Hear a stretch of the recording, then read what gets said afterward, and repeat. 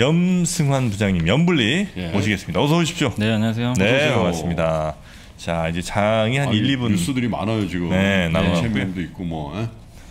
자, 근데 바로 갈까요? 예, 그 증시 일정은 오늘 뭐 유럽의 수출입 동향이 있고 미국은 좀 주목하실 게 소매 판매 발표되니까 주목하시고 미국과 EU의 좀 정상회담이 있고요. 그다음에 아까 이제 그 보니까 기사 보니까 5G한테는 또 좋은 뉴스 오늘 오랜만에 나온 것 같아요. 뭐예요? 5G? 예, 뭔데? 영국의 보다폰이라는 그 통신사 보다폰? 있잖아요. 예. 네. 거기서 5G 장비를 삼성, 삼성전자 삼성전자? 네, 공급을 좀 하려는 그 기사가 하나 나온 게 있습니다. 화웨이가 사실 이제 유럽에서도 힘들어졌거든요. 아, 근데 우리 좀 연부장님은 그냥 연부장님 할 일을 하세요. 꼭 정프로를 의식해서 뭐 기사 검색. 아이, 아니, 프로 의식이 아니죠. 아니, 평상시대로 하셔야 돼. 네, 알겠습니다. 아, 이거 사... 아, 이거 중요한 뉴스 아닙니까, 이거는. 아니 네, 아니야. 사실 인지상정이거든 이렇게 보다 보면은 아, 빨리 진지하니까 그러니까 이게 뭐냐면 영국 보다폰에서 5G 네트워크 장비 공급 업체로 이제 삼성전자 선정했다고 아. 기사가 어제 저녁 SBS 뉴스에 나왔어요. 음. 네, SBS 저는- 뉴스 나왔으니까. 그냥이 아니잖아요. 예. SBS 뉴스 나왔으니까. five 징징징. 네, 자, 이제 좀 가길 바랍니다. 네, 아무튼 그 오늘 이제 지수는 플러스 9포인트 정도 상승 출발할 것 같고요. 3,266포인트가 역사적 고점이거든요. 그래서. 얼마 남지는 않았습니다. 이제 거의 오늘 시초가 거의 3,260대 시작할 것 같은데 네, 시작할 것 현재로는. 같고 그다음에 이제 코스닥은 1,000포인트에 시작을 할 것 같습니다. 지금 현재 오, 예, 천. 1,000 정도에서 천. 예. 그래서 오늘 일단 자. 출발은 다 괜찮을 것 같습니다. 네. 시가총액 상위 기업들도 분위기 괜찮고요. 뭐 삼성전자 하이닉스도 항상 이제 요새 좀 아침에 약했는데 일단 오늘 출발은 강세로 출발하는 모습 같습니다.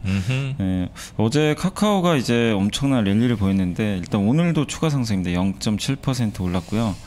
반면에 어제 좀 바이오주들 삼성바이오로직스나 이제 셀트리온 같은 기업들은 좀 올랐었는데 오늘은 좀 보합권 정도 보이는 것 같고 현대차가 한 0.2% 정도 하락했고요. 삼성전자가 일단은 하이닉스랑 동반해서 어제 마이크론이 좀 올라서 오늘 0.5% 아, 이상 시작했네요. 반등 예, 출발을 했습니다. 그래서 오늘 지수 출발도 일- 일단은 괜찮습니다. 한 플러스 4포인트 정도 3,256에 좀 출발을 했고요. 음. 코스닥은 이제 거의 999포인트, 네. 네, 1000포인트가 거의 이제 임박한 상태로 일단 출발을 했다라고 보시면 되겠고 오늘 뭐 이렇게 아주 급등하는 그런 건 아닌데요. 일단 듀산피오셀이 1.7% 정도 올랐고 LG전자가 어제에 이어서 오늘도 한 1.2% 정도 반등하면서 상승세 이어가고 있고요. 그리고 SK하이닉스도 한 1% 이상 반등을 하면서 어제 좀 하락에선 좀 벗어나는 그런 음흠. 모습들 보여주고 있습니다. 네네. 뭐 대부분. 예, 강보합 네. 정도 보이고 근데 오늘은 좀 하락 종목도 일부 좀 있는데 HMM이 어제 기사화 됐지만 음. 그 산업은행에서 아, 예, 대규모 전환 사채 네. 이번 달 말이 만기라서 뭐 당연히 전환 사채 발행은 불가피할 것 같아요. 주식 전환은 주식 전환 한다는 예, 거죠. 주식 전환 3천억 정도 네네. 되는 물량이니까 아마 나오지 않을까 해서 좀 우려감으로 음. 오늘 주가가 6% 지금 급락 세로 출발을 했고요. 네. 롯데쇼핑이 한 2% 빠지고 있고 현대제철도 한 2% 정도 조정 나오고 있고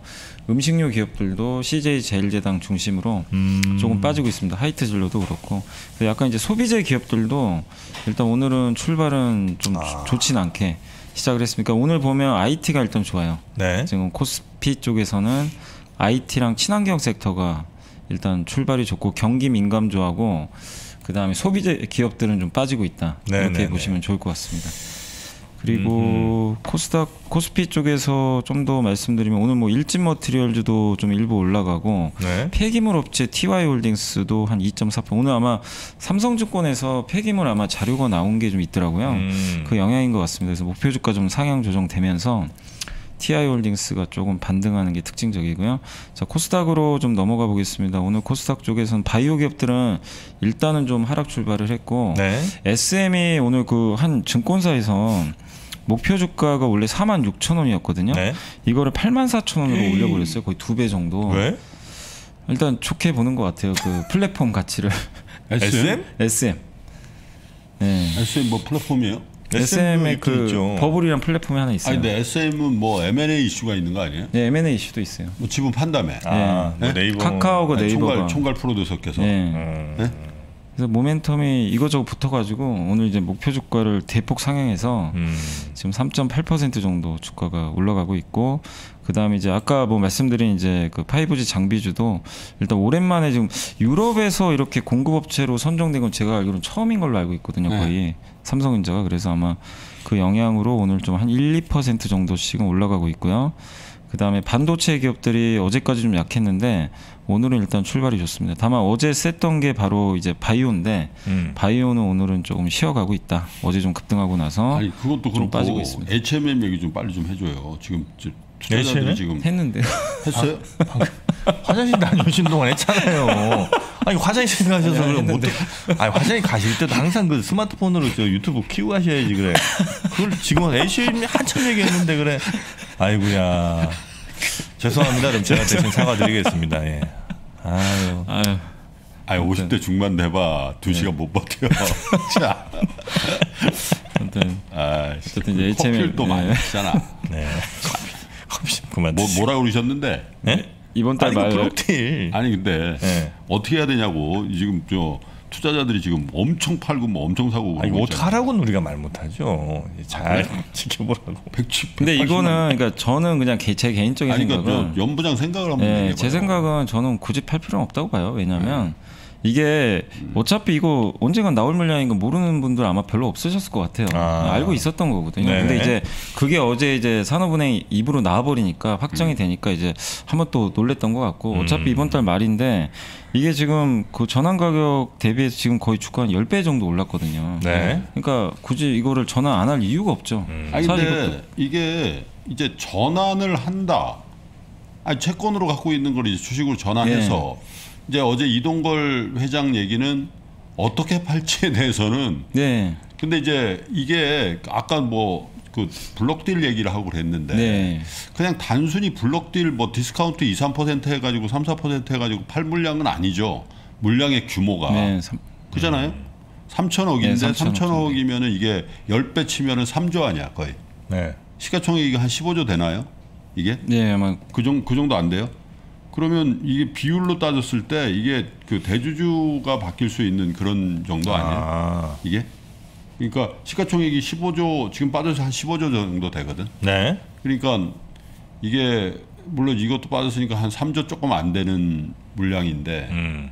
근데 시가총액 15조짜리에서 3조짜리면은 블록딜 블록딜로 해결할 정도가 아니고 음. 아예 그냥 전략적 투자자를 잡아서 음. 이렇게 해야 될 것 같은데 음. 그죠?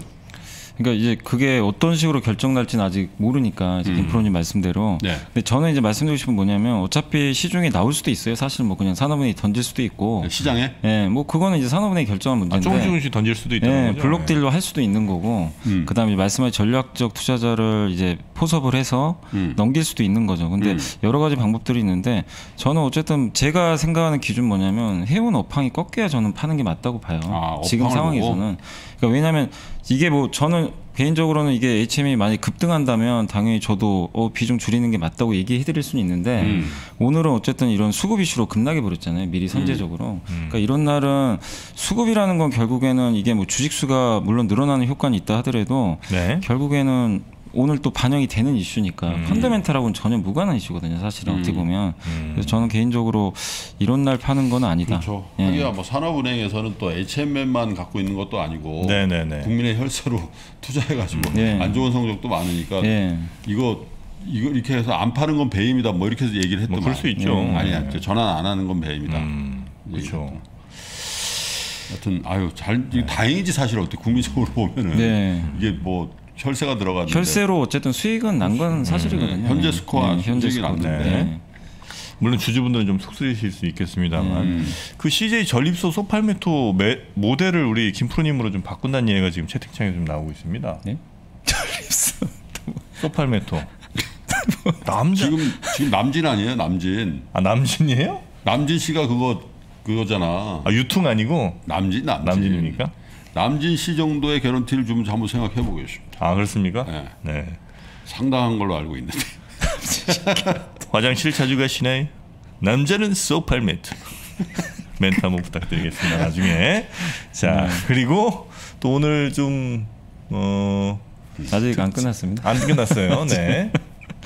네, 코스피 지수 다시 말씀드리면 3,253포인트고요. 네. 플러스 1포인트 거의 변, 변동은 없는 것 같습니다. 코스닥이 996포인트로 마이너스 0.9포인트. 사실 어제는 코스피 코스닥이 훨씬 강했는데 일단 오늘 오전장은 바이오가 좀 약하다 보니까 상대적으로는 코스피가 조금 더 강한 분위기다라고 보시면 되겠고요. 수급 상황 비슷합니다. 어제도 이제 그 기관들이 좀 많이 팔았는데 일단 오늘도 기관이 좀 팔고 있고 반대로 어제 좀 매도가 좀 거의 없었던 외국인들이 오늘은 일단 매도로 전환을 해가지고 네. 한 600억 정도 팔고 있고요. 개인 투자자분들이 한 740억 정도 매수를 하고 있어서 개인 투자자분들이 좀 최근에 좀 지수가 올라가는 국면에서도 네. 조금씩은 좀 매수를 하는 게 좀 최근에 좀 특징적인 것 같아요. 그리고 이제 섹터 쪽으로는 오늘 그 교육주들이 조금 강한 편이고요. 그 다음에 2차 전지 업체들이 오랜만에 또 반등하고 있습니다. SK 이노 좋네요. 네, 이노베이션, 삼성 SDI, LG화학 3사가 모두 다 음. 반등을 좀 해주고 있는 그런 좀 좋은 모습이고요. 네. 시멘트 업체들도 최근에 이제 뭐 가격 인상 기대감도 좀 있는 것 같고 음. 업황 자체가 워낙 좋다 보니까요. 오늘도 상승세가 좀 이어지는 것 같습니다. 네. 그리고 이 정유업체도 강하고 반도체도 오늘은 물론 이제 뭐 엄청난 급등은 아니지만 SK 하이닉스, 삼성전자, DB하이텍 같은 이제 반도체 대표 3사가 다 일단은 1 1%대 정도 제가 볼때 SK 하이닉스는. 업황 이런 걸 떠나서 주주들이 아 진짜 자존심 상한데 카카오가 우리를. 넘어 그런 거 아닌가? 하긴 좀 시총 차가 뭐 물론 아직은 있지만 음. 사실 근데 양사 합치면 넘어갔잖아요 이미. 훨씬 넘어갔지. 예, 이미 양사 합치면 때문에. 120조 예. 넘었는데 90조 아니에요. 예. 그래서 30조 남았어 예. 지금. 하이닉스도 분발을 해야 될 것 같습니다. 네. 그리고 오늘 석유화학 기업들도 대부분 좀 좋고 최근에 뭐 롯데케미칼이나 금호석유가 좀 많이 빠졌는데 음. 일단 오늘은 좀 오랜만에 반등하고 있고요. 통신 장비 그리고 아까 SM이 좀 올라가면서 음원 음반주들도 좋고 엔터사들도 오늘 주가 흐름 좋고요. MLCC 또 IT 대표죠. 그러니까 오늘은 보면 부진했던 섹터 중에 그 IT 하드웨어 있잖아요. 네. 반도체나 2차 전지 이쪽이 정말 오랜만에 강세 보이는 게 좀 특징적이고요. 음. 항공주들은 오늘은 좀 쉬어가는 것 같습니다. 오늘 TA 항공이 6% 빠졌고 제주항공이 한 2%또 최근에 네. 또 워낙 올랐기 때문에 여행 항공주는 조금 쉬고 있다라고 보시고 또 어제까지 강했던 카카오 네이버도 오늘은 좀 숨고르게 하는 것 같습니다. 네. 한 0.5% 정도 그리고 철강주, 뭐 홈쇼핑, 뭐 타이어, 은행주들 또 금리에 민감한 업체들도 뭐 금리가 어제 미국에서 오르긴 했지만 일단 오늘은 다시 한번 좀 밀리면서 좀 경기 민감주는 좀 부진한 것 같아요. 그러니까 경기- 자동차 어떻습니까? 자동차. 자동차 자동차 쪽은 부합이에요? 예, 크게 아. 지금 변동이 없는 것 같아요. 큰 움직임 없습니까? 음. 아니 또뭐 조업, 조업 중단 뭐 또 그런 게 예, 보도가 있었어요. 됐더라고요. 어제 뭐 미국에서 공장 뭐 일주일 가동 중단한다. 음. 그 소식은 있었는데 그래서 어제 좀 빠졌거든요. 음. 근데 오늘은 뭐 큰 움직임 없고 네. 다만 현대모비스는 조금 올라가는 것 같습니다. 한 1% 정도. 그러니까 기아가 좀 빠지고 현대모비스는 조금 반등하는 것 같습니다. 그래서 큰 특징은 없는 것 같아요 자동차 쪽. 예. 자, 대충 이제 오늘 장 분위기는 네. 그렇고요. 자, 증권사 주요 리포트들 네. 우리 연부장님이 선정하신 거 한번 들어보겠습니다. 그래서 이건 삼성증권의 백재승 애널리스트가 철강 업황 이제 그 분석을 해주셨는데 요새 철강도요 애널리스트마다 시각이 다 좀 약간 다르더라고요. 되게 좀 약간 혼재돼 있어요. 좋게 보시는 분도 있고, 근데 삼성증권은 좀 긍정적인 시황을 좀 펼치고 있는데 음. 하반기 철강 시황 되게 견고할 것 같다. 네. 지금 이제 중국 정부가 지금 원자재 시장 개입으로 인해서 가격 조정이 나왔는데 음. 수요 공급을 근본적으로 훼손시키는 조치는 아직은 없다. 예. 구두 경고 정도에 지금 그치고 있기 때문에 그리고 어차피 하반기 철강 감산에 대한 의지가 여전히 강하기 때문에 하반기에 철강 가격 올라갈 수 있을 것으로 예상을 했고 2020년대는 이제 새로운 사이클 국면이 펼쳐진다고 봤는데요. 2000년대 아마 그때 기억들 하실 거예요. 그때 원자재 소위 말하는 슈퍼 사이클 한번 나왔었거든요. 당시 네. 2000년에 그때 이제 중국이 엄청나게 이제 성장을 했고 어제도 그 이진호 연구원님이 뭐 중국이 도시화되면서 그런 얘기를 좀 해주셨던 것 같은데 음. 결국 그때 중국의 이제 폭발적인 성장에 기반돼서 수요 공급 투자가 이제 모두 증가하는 그런 국면이 좀 나오면서 철강도 그때 너무나 좋았죠. 그렇죠. 근데 그 후로 어쨌든 그때는 투자까지 늘어나다 보니까 음. 2010년도에는 그 휴유증이 발생해서 공급 과잉으로 사이클이 완전히 꺾여 버려 가지고 포스코가 10년 동안 주가가 70만 원에서 15만 원까지 빠져 버렸잖아요. 70에서 15만 원. 예. 그때 기억이 나요. 그때 막 오런 버핏도 뭐 매수했다 얘기도 나왔었고 음. 그때 75만 원까지 갔던 걸로 제가 기억을 하거든요. 음. 그랬다가 이번에 코로나 때 한번 15만 원까지 찍고 지금 이제 40만 원 한번 찍고 내려왔는데 음. 어쨌든 이제 그 10년 동안 빠졌던 이유가 공급 과잉이라고 보시는 게 좋을 것 같아요. 네, 수요도 네. 좀 부족했고 근데 이제 2020년 들어서는 좀 달라지지 않을까 왜냐하면 신규 캐파 증설이 별로 없대요 너무나 그동안 이제 설비 투자는 안 했, 이제는 위축됐기 때문에 수요가 없어서 그래서 설비 투자 증설 리스크가 적고 그리고 수요는 늘어나고 수요는 왜냐하면 글로벌 재정 정책이 이제 확대가 되기 때문에 네. 수요 회복은 두드러질 수가 있다. 그리고 ESG가 요즘에 강화되고 있잖아요. 거기서 이제 환경 문제가 있는데 음. 결국 환경 문제에서 철강이 아시겠지만 이산화탄소 배출이 제일 많아요. 공장에서 나오는 게. 음. 그럼 그거 어차피 줄이기 위해서라도 이게 설비 투자를 많이 할 수 없다는 거죠. 어떻게 보면. 그래서 구조적으로 공급도 늘 수가 없는 구조니까 이런 걸 보면 철강 업종을 좀 긍정적으로 바라봐도 되지 않을까 이런 좀 내용이고 그 다음에 이제 원자재 관련해서도 요즘에 그 전기차 신재생 에너지에 구리나 니켈이 많이 쌓이잖아요. 네. 예, 그러니까 그런 쪽에 대해서도 좀 긍정적으로 보고 있는 것 같습니다. 그래서 철강 업종들 최근에 좀 조정받고 있지만 뭐 부정적인 시각으로 볼 필요는 없다라는 내용이니까 참고를 하시면 좋을 것 같고요. 두 번째는 이제 조선 업종인데 하나금융의 그 박미연 애널리스트가 한국 조선업 수주 점유율이 저, 제목이 그 사실상 100%다. 이런 내용입니다. 그래서 뭐 수주 점유율 예, 100% 사실상, 사실상. 그래서 사실상이 무슨 예. 뜻인데? 그러니까 선박의 종류가 되게 많잖아요. 네. 뭐 군함도 있고 뭐 크루즈선도 있고 뭐 굉장히 작은 뭐 탱커선, 컨테이너선, 뭐 가스 벌크선까지 다 있는데 이게 이제 한국의 수주 실적을 정리할 때 선박의 종류에 구분 없이 발표되는 그 월별 수주 실적을 인용하는 경우가 많은데 그게 이제 한국의 조선업의 수주 실적을 정확히 반영을 못 한다고 지금 적었는데요. 아, 뭐 클락슨에서 빼고 봐야 된다는 거지. 그러니까 이제 우리 한국이 주력으로 하고 있는 선종이 있어요. 네. 그거는 사실상 거의 지금 독점이라고 어. 좀 적어줬어요. 뭐냐면 그러니까 VL 탱커 베리라지 사이즈라고 하는데 매우 네. 큰그 원유 운반선 있잖아요. 음. 그것도 거의 사실상 거의 국내 업체들이 거의 독점이고 음. 그 다음에 이제 LNG 선 중에서도 아주 초대형급이 있어요. 네네. 그런 것들은 대부분 그러니까 LNG 운반선이죠. 그렇죠. 한국이 거의 싹쓸이 하고 있고 음. LPG 선은 거의 아마 현대 미포조선의 동무대입니다. 이게. 네. 예, 거기서 지금 수, 실적이 한국 조선업의 비중이 올해 들어와서 사실상 100%래요 거의. 음. 예. 이게 또 고부가 가치 선박들이다 보니까. 네. 근데 왜 이런 현상이 발생을 했냐면 세계 조선업 경쟁 구도에서 음. 지금 일본이 좀 몰락을 많이 하고 있는 게 또 크다고 합니다. 일본? 일본은 이마발이? 예, 일본이 원래 그 자국 선 그러니까 일본 조선업이 자국 선사들로부터 수주를 원래 받았어요. 그렇죠. 근데 2016년부터 수주 상고가 5년째 감소되고 있는데 음. 일본 선사한테도 이제는 수주를 잘 안 준대요. 아 일본, 일본 해운사도 그, 예, 일본 해운사도 일본 조선사한테 네, 안 준다. 네, 수주를 좀 빼고 있대요. 비싸고 질은 뭐 떨어지니까. 경쟁력이 없어서 아마 그런 것 같습니다. 예. 음. 그리고 탱커와 가스 운반선 분야에서 한국이 지금 독보적으로 워낙 잘하는데 이 분야는 또 중국이 못해요. 이 분야 자체를 네네. 경쟁력이 떨어지니까 그리고 선박 연료가 이제 어차피 LNG로 바뀌게 되고 추진 기술이 이제 고도화되면서 음. 전 세계 선주사들이 이제는 한국 조선소에 계속 노크를 하고 있다는 얘기죠. 네, 환경 네, 네. 규제 같은 이런 부분들이 그리고 선박 수주 성과가 이게 오르네 만에 말은 많았지만 어쨌든 이제 오르기 시작하고 있습니다. 수주 성과까지. 그래서 내년에는 아마 수주 성과가 더 크게 오르지 않을까. 왜냐하면 경쟁은 줄고 음. 한국 조선소의 주력 분야는 더욱더 점유율이 올라가고 있기 때문에 그래서 되게 뭐 너무 이제 긍정적인 내용이니까 또 여러분들이 한번 더 체크는 해보셔야 되겠지만 굉장히 한국 조선사들의 지금 경쟁력은 계속 올라가고 있는 거는 좀 사실이 아닌가라고 좀 아, 생각하고 그, 있습니다. 그건 또 그런 것 같아. 그렇다고 뭐 예를 들면 인도네시아나 말레이시아나 베트남에서 나 조선사 한번 해볼란다 그러고 예, 그거 대형. 왜냐면 아니 그것도 또 다 철강하고 연결돼 네. 있어서 ESG라는 그거에 걸리잖아. 네. 그지? 맞습니다. 네?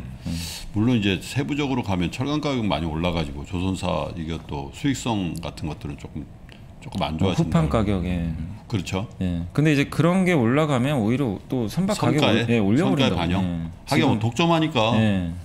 그게 이제 있어서 아마 조선 것좀 괜찮은 참. 것 같아요. 그러니까 아까. 제가 철강 조선 말씀드렸지만 이게 공통점이요. 10년 동안 다 죽쓰던 게 업종들이에요. 음. 지난 10년간 정말 안 좋았는데 네. 어쨌든 이제 올해 들어와서 뭔가 바뀌긴 바뀌었어요. 글쎄 말이야. D램 D램과 조선을 같이 1등하기는 참 어려운 과목인데. 그죠? 예. 자, 환경 규제가 또 심해집니다. 예. 이 조선 관련해서. 예. 네, 그거 우리가 눈여겨 살펴봐야 됩니다. 네, 제가 한번 맞습니다. 짚어드렸어요. 네, 네. 감사합니다. 어떻게 보다폰 그거는 반영이 되고 있습니까? 주가에? 보다폰. 아주 네. 강하진 않아요. 커봐. 근데 오르긴 오르는데 네. 상승폭은 크진 않습니다. 정, 내가 보니까 평상시 같았으면 정프로가 아니었으면은 네. 연부장의 레이더에 안 걸릴 뉴스였다니까. 그 정도 강한 뉴스가 아니에요. 네. 보다폰이 보다폰이 뭐 엄청난 데도 네. 아닌데 뭐. 그잖아요. 보다폰이요? 네. 아, 보다폰 예전만 못하나? 예전에 한참은 왜 괜찮았었는데 보다폰. 보다- 보다폰 예전에 오렌지 유명했죠, 예. 오렌지 폰. 오렌지라고 있었거든요. 오렌지? 음. 아 회사 통신사 이름이 오렌지예요? 음. 아 저는 이제 보다폰을 어떻게 기억했냐면 옛날에 그 맨체스터 유나이티드 아, 맞아요. 거기 아, 이제 그렇지. 여기 로고가 붙어 있어가지고 음. 음. 그걸로 좀 기억을 했던 게 있어요. 아 생각만큼 강하지 않네요. 그래도 의미 있는 게 네, 유럽 있죠. 통신 장비 시장은 삼성전자가 거의 불모지였어요. 아 불모지였죠. 거의 화웨이도 거기 많이 진출했고 근데 음. 거기에 일단 발을 들여놨다는 것만으로도 그렇죠. 의미 있는 시작입니다. 네. 예. 그래서 좀 긍정적인 모멘텀은 나온 것 같아요. 그리고 이제 제가 저도 이제 보험업종 워낙 어렵다 보니까 잘 소개는 안 해드리는데 그래도 보험업종도 한번 좀 말씀을 드리는 게 맞는 것 같아서 오늘 대신증권의 박혜진 애널리스트가 이게 저도 이게 몰랐거든요. 코로나 이후 회복하지 못한 유일한 섹터가 보험이래요. 아. 이 직전 그 정고점을 지금 유일하게 회복을 못했다고 하는데 지금 일단 모든 업종이 상승할 때 손해보험주가 특히 음. 완전히 소- 그 제외됐다고 하는데 손보주는 사실 코로나 관계없이 지난 2년 동안 못 갔다고 하고요. 그렇다고 뭐 문제가 있는 건 아니고 3사의 그러니까 뭐 삼성화재, DB손해보험, 그 다음에 이제 현대해상이 3사잖아요, 대표. 그렇죠. 이 3사의 평균 이익 증가율이 27.3%래요. 2년 동안 성장을 했어요. 아 그래요? 예, 실적이 나쁜 것도 아니에요. 왜 왜 왜 안 돼요? 그러니까 이게 참 저도 좀 아이러니하더라고요. 그러니까 보험업종은 아예 이렇게 이익 성장이 나와도 저건 어차피 그냥 좀 너무 천수답인가? 약간 그런 음. 성향이 좀 있는 것 같아요. 근데 일단은 그 올해 좀 전망을 해줬는데 뭐냐면 좀 기대감은 가지셔도 좋을 것 같은 게 일단 자동차 보험료를 2019년부터 네 차례 올렸거든요. 음. 일단 올려서 그 효과가 나올 것 같고 수수료 개편 정책에 따라서 사업비가 감소한다고 합니다. 이게 뭐냐면 사업비가 신계약비하고 유지비로 구성이 되는데 네. 신계약비가 뭐냐 이게 다 비용입니다 보험사에 그러니까 이게 줄면 좋은데 신계약비가 설계사에 이제 보험 파, 설계사분들이 이제 보험 상품을 판매하잖아요 음. 그럴 때 비례 수당이라든가 판매 이제 광고할 때 촉진비 네. 이런 것들을 제공을 해요 이게 신계약비에 들어가고 유지비는 뭐냐면 이제 이분들 뭐 급료라든가 임금 삼여금 어. 뭐 복리 후생비 네. 이런 것들이 다 사업비에 포함이 되는데 그 보험 설계사에게 지급하는 초년도 모집 수수료가 있나 봐요. 이게 월 납입액의 1200% 이하로 제한하는 음. 것을 지금 추진을 하고 있나 봅니다. 근데 음. 이게 되게 되면 사업비가 줄게 되거든요. 어쨌든 비용이. 네. 그래서 보험회사들한테 되게 긍정적이고 그리고 5월까지 자동차 보험 손해율 개선이 예상보다 크다고 합니다. 지금. 음. 그리고 한 가지 더 있는 게 아마 들어보셨 그 이- 지금 시행 중이잖아요. 4월부터 안전속도 5030. 그러니까 국내 일반 도로에서는 이제 그 시속 50km 이상으로 주행 못합니다. 네네네네. 못하고 아, 시내에서 네, 시내에서 못해요. 그리고 그다음에 주택가나 이런 이면 도로는 30km 이하로 가야 돼요. 음. 그럼 이제 속도가 줄면 아무래도 손해율에 영향을 주겠죠. 사고가 좀 줄 수 있으니까. 음. 그래서 이런 부분들도 보험회사들한테 긍정적이고 그 다음에 3분기 중에 금융위원회에서 자동차 사고 시에 그 경상 환자의 과잉 치료비를 억제하는 방안을 발표할 예정이라고 합니다. 그러니까 이게 무슨 내용이냐면 경상 환자가 이제 상해 등급에 따라서 좀 다를 수 있는데 음. 근육 또는 인대 손상이나 가벼운 뇌진탕 등을 포함하는 그런 환자들이거든요. 근데 현재 이제 그 우리가 흔히 뭐 라일롱 환자라고도 하잖아요. 네네. 근데 현재 경상 환자의 경우에 상해 입증이나 회복 여부 확인 없이 음. 주관적인 이제 자기 주관적으로 좀 아프다고 호소를 하면 제한 없이 진료를 받을 수가 있어요. 일단 지금 음. 현재까지는. 근데 이거를 법을 바꿔 가지고 3주 이상 진료를 받는 경상 환자는 이제는 그 진단서를 내야 된대요. 음. 진단서 제출을 의무한다. 그러면 이제 그런 환자들이 좀 줄 수가 있으니까 네네네. 보험사들한테는 되게 또 긍정적인 그 부분이 좀 나올 수도 있고 그다음에 실손보험금 보험금 청구 간소화 법안이라고 있는데 이게 아직 통과는 안 됐는데 뭐 많은 분들이 실손보험금 청구하려면 병원 가가지고 막 이거저거 다 떼야 되잖아요. 네네네. 떼서 보험사에 해야 되는데 이게 통과가 되면 그냥 병원에서 보험사에 바로 청구를 해버려요. 예, 그럼 되게 간소해지는데 네. 이거를 아직까지는 이제 그 의료 쪽하고 보험사 간의 이제 이해관계 차이에 의해서 음. 통과가 안 되는데 이게 통과가 되면 보험사도 좋은 거죠 사실은 왜냐하면 이런 병원으로부터 직접 받기 때문에 시간이나 비용 등이 축소된다고 합니다. 음. 그래서 이런 아직은 이런 모멘텀들이 뭐 통과된 건 아니지만 네. 이런 모멘텀들이 일부 있기 때문에 보험업에 대해서도 한번 보실 필요는 있는 것 같고 실손보험 그 청구는 좀 간소화해야 돼. 예, 너무 복잡하죠. 아, 하다가 아, 아, 아 됐- 됐어요. 그만할게요. 이런 겨- 케이스가 그런 분들이. 되게 많으신 것 그걸 같아요. 노리는 것 같아요 보면. 음. 약간 어지간하면 이제 신청 안 하게. 근데 이제 보험업종의 한 가지 리스크는 뭐냐면 카카오입니다. 카카오가 손해보험 사업 그 보험업 영위를 예비허가 받았거든요. 지난 9일날. 그러니까 이게 저거 예전에 은행주도 한번 카카오뱅크 때문에 그래서 이게 좀 약간 리스크긴 해요. 근데 이제 그게 어떤 또 파급 효과를 불러일으킬지 모르겠는데 일단 카카오에서는 소액 단기 보험에는만 집중을 아니, 한대요. 근데 카카오가 진짜 보험화하면 자동차 보험이 최고 편한 거 아니에요? 그죠 모빌리티 자동차 보험은 다 해야 되잖아 거의. 아 그렇죠 그렇죠. 다 해야 예, 되니까. 네, 예. 무조건 해야죠. 뭐 예를 들어 생명보험이다, 종신보험이다 이런 거는 머리가 네. 복잡해지는데 자동차 보험은 어차피 삼성, 동부, 현대해상에 하는 것보다 카카오가 더 싸다. 그냥 뭐 가격 비교해서 그냥 하는 거니까. 그렇죠. 네. 미국에서도 그렇잖아. 에트나가 있고 막 그렇거든. 근데 그 뭡니까 그그 게이코 네. 그 그게 게이코가 워런 버핏이 최대주잖아. 음. 저기 예? 버크셔 해서웨이가 갖고 있는 게 게이코거든. 그 도마뱀 이렇게. 돼 있는. 네네네네. 음. 그게 또 혁신해 버리니까 네. 야 카카오 그 그 최근에. 카카오 올라간 이유 중에 하나도 사실 이것 때문이거든요. 손해보험까지. 아 그래요. 예, 인가를 받아버렸어요 예비 허가를. 그러니까 이제 다 하는 거죠 사실은. 아니 근데 이렇게 카카오 내가 한 가지만 부탁할게요. 저 경제 뭐 투자 관련 유튜브는 좀 하지 말아 주십시오. 저희는 좀 이거는 좀 저희가 좀 하게끔 카카오 형님 좀 이건 골목 사건입니다. 골목 사건. 아니 옛날 대기업들 뭐 이렇게 네? 문어발식 뭐 확정 못하게 막 했는데 이거 뭐 이거 왜 이렇게 막 아니 그게 대기업이거든. 예. 보험도 대기업이잖아. 아 그러니까 카카오는 이게 막다 해도 되는 아니 거예요? 그거 관계 없고. 아, 그래요? 투자 관련 뭐 이런 이런 거는 저희 좀 하게 좀 뭐 또 카카오 뭐 예? 음. 뭐 경제 유튜브 진출 이런 건 안 됩니다. 알겠습니다. 자, 네. 아니 한, 한 진짜 전쟁입니다. 네. 우리, 우리 그냥 죽지 않아요. 네. 아니 그래서 우리가 1등하면 우리도 괜찮은 거 아니야? 들어오세요 그러면 한번 해보지 뭐. 들어오세요. 자 그리고 그래서 어쨌든 이제 이런 리스크가 하나 있다는 건 좀 부담이긴 하지만 네. 초기에는 이제 소액 단기 보험에 좀 위주로 할 것 같기 때문에 음. 어쨌든 좀 지켜보시고 결론은 뭐냐면 싸긴 싸요. 삼성화재, DB손보, 현대해상 예상 PBR이 PBR이 0.49배밖에 안 됩니다. 그래서 역대적으로 이제 최저점인데 주가가 언제 갈지는 뭐 그거는 좀 지켜봐야 될 것 같아요. 음. 예, 이런 좀 약간의 리스크는 염두에 두실 필요는 있는 것 같고요. 마지막으로 이제 그 대신증권의 한유정 애널리스트가 저번에도 한번 말씀드렸지만 라면 가격에 대해서 이- 요새 보고서들이 좀 나오긴 나와요. 음. 언제 인상할까? 근데 왜냐하면 인상할 수 있는 요인은 많긴 많습니다. 왜냐하면 이제 원재료인 소맥 파묘 가격이 네. 계속 급등했고 팜유 같은 경우 71%나 급증했어요 단가가 음. 이게 그러면 이제 라면 업체들은 지금 계속해서 지금 원가를 이제 반영을 못하다 보니까 아마 이- 이 상태로 가면 2분기뿐만 아니라 3분기 실적도 지금 굉장히 안 좋을 것으로 지금 전망이 되고 있습니다. 특히 오뚜기는 그때도 말씀드렸지만 2008년 4월 이후로 아직까지 라면 가격을 네. 못 올린 상태이기 때문에 굉장히 좀 어려움이 좀 가중되고 있는데 어쨌든 라면 가격에 대한 인상 요인들은 나왔지만 어느 시점에서 인상할지는 조금 좀 지켜봐야 될 것 같습니다. 네. 자 라면 가격 인상. 네.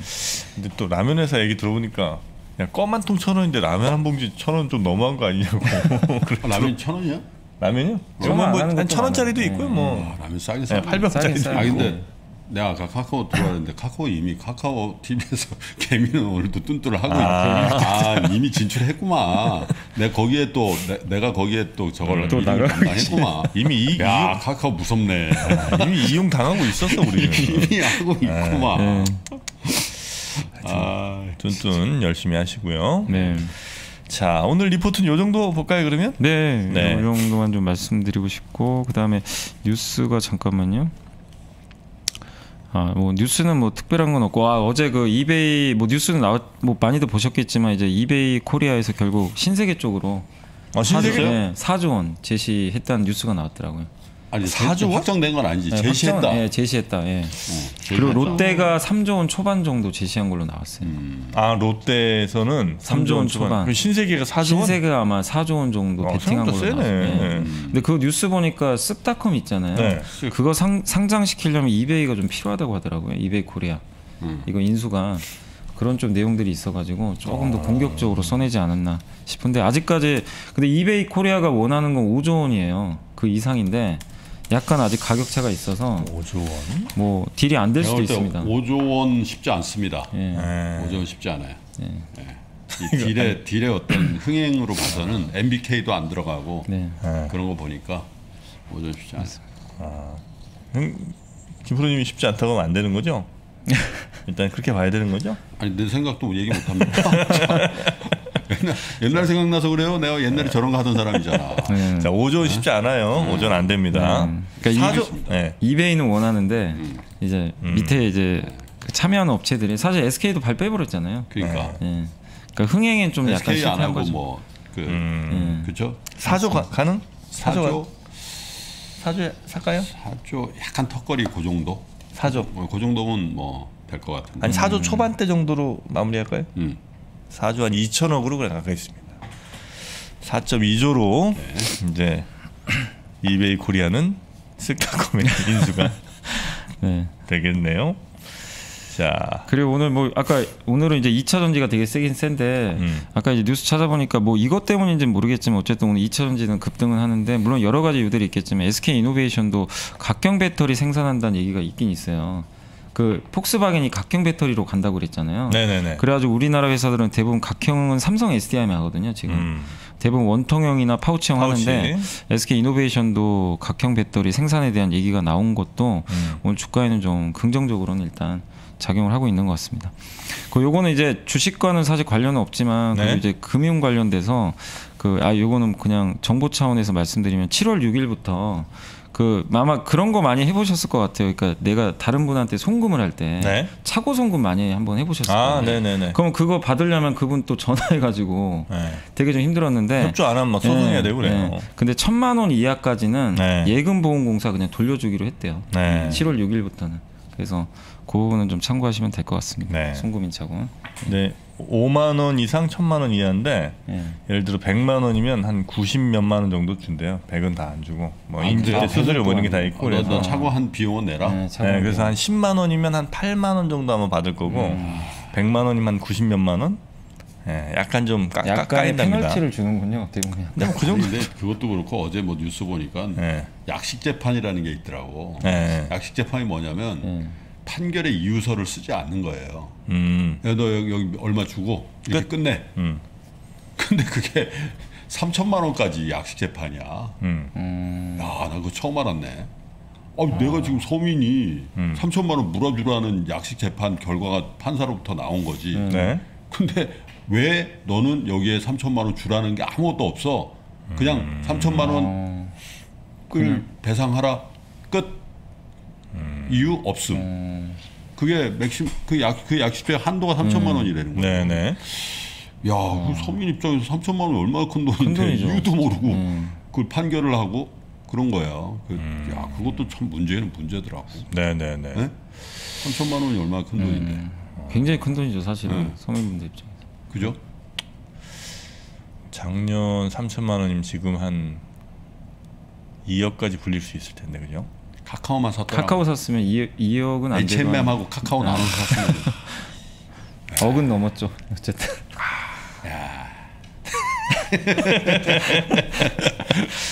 자, 물론 3천만 원이 정프로한테 맡겼으면 1,500이 됐을 수도 있습니다만. 그래도 김민호?